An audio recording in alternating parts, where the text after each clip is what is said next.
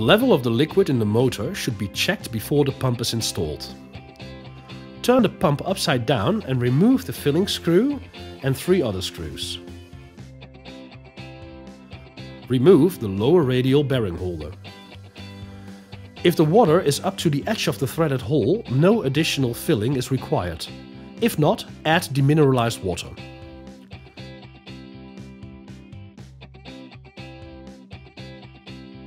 To allow all air to escape, insert a hex key into the pump and lift the shaft a few times.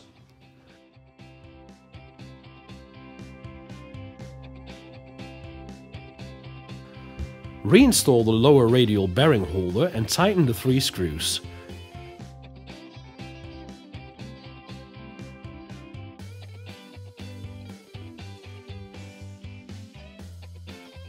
And finally install the filling screw. Check the water level regularly.